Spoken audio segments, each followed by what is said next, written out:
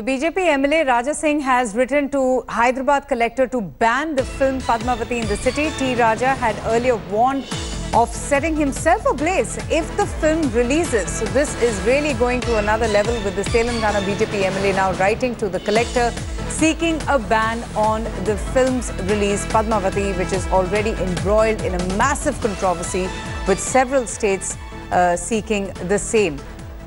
Ashish Pandey joins us for the very latest on this. Ashish, uh, tell us more. What exactly has the MLA written in his letter to the collector?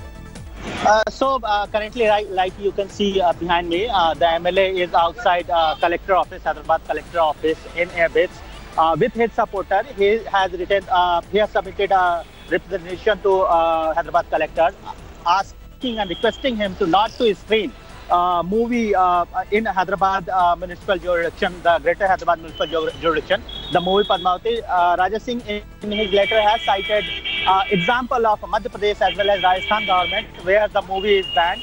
He has said that since this movie is uh, somehow uh, affecting the sentiment of a particular caste of, of Hindu religion as well as Hindu sentiment, that's why this movie should be banned. that's the demand uh, Uh, the BJP MLA uh, is uh, is uh, making, and uh, now he has submitted a letter to Hyderabad collector. Now we have to wait and watch what government of Telangana and the uh, collector of Hyderabad takes a decision on this.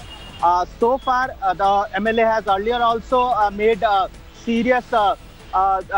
They, they, he had protested seriously against this movie and had said that if any theater in Hyderabad will screen this movie, he'll, he'll the first person to burn down or raise down that theater. So BJP MLA is completely up and ante against the movie Padmavati and he has now submitted uh, a letter of representation uh, to Hyderabad collector. Right, Ashish, just stay on with me uh, on this raging controversy surrounding Sanjay Leela Bhansali's uh, periodic drama Padmavati and let's also take our audiences uh, through the kind of reactions coming in from the various states who have joined the anti-Bhansali chorus. Well, with the Padmavati row growing stronger with each passing day, Various chief ministers and states have even joined the anti-Bhansali film chorus. In fact, Rajasthan has now written once again to the INB ministry seeking a ban on the film's release till the objectionable scenes are not removed from the film. So that's Vasundhara Raje uh, government stand. First, in fact, they wanted a jury to see the, uh, the entire film, but now they have written to the IB ministry seeking a ban on the film's release. In Uttar Pradesh also, uh, Yogi Adityanath is fearing that there would be a law and order situation in the state and therefore he too has requested for the controversial scenes to be removed. And in the other state of Madhya Pradesh, Shivraj Singh Chauhan, the chief minister, has made it very clear that the movie will not be released in the state of Madhya Pradesh, once again citing law and order uh, situation.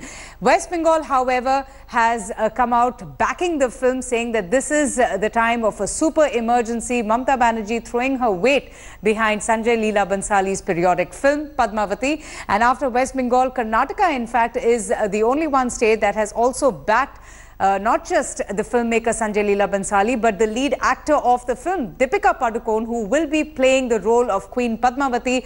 Siddaramaiah has now demanded security for Deepika Padukone in the wake of fierce criticism, threats to her life. Uh, he has asked for security not just for the superstar, but even for her family members as well. Thanks for watching the video. For more such news and updates, please like, share and subscribe to India Today. Also check out our other great videos from our channel. We know you will love to.